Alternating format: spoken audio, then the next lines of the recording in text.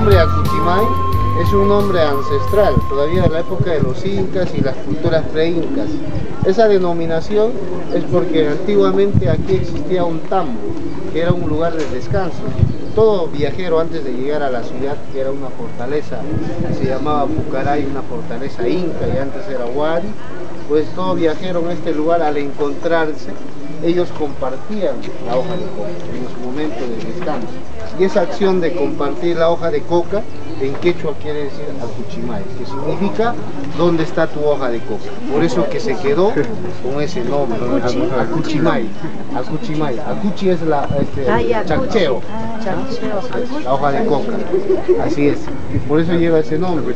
Es en este lugar donde se llevó a cabo, ya, donde se llevó a cabo la batalla de Acuchimay.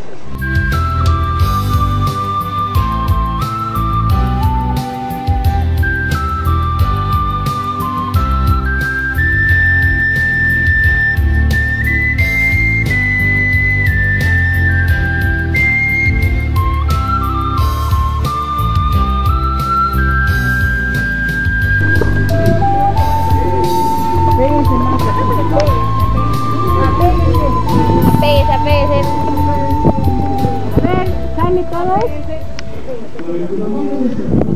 Uno, dos, tres.